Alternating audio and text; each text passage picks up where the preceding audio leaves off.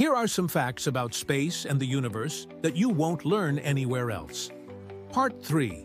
There are more stars in the universe than grains of sand on all the beaches on Earth. A year on Jupiter is shorter than a year on Earth. It's 9.9 Earth years long. If you were to stand on the surface of the Sun, you would weigh 24 pounds or 11 kilograms. The solar wind created by our Sun is so strong that it can blow you off course if you're not careful.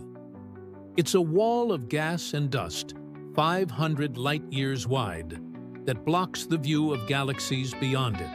The Earth's atmosphere is 100 times thinner than the atmosphere of Jupiter. This is why it's so hard to breathe on Jupiter. If you could punch through the event horizon of a black hole, you would weigh infinite pounds.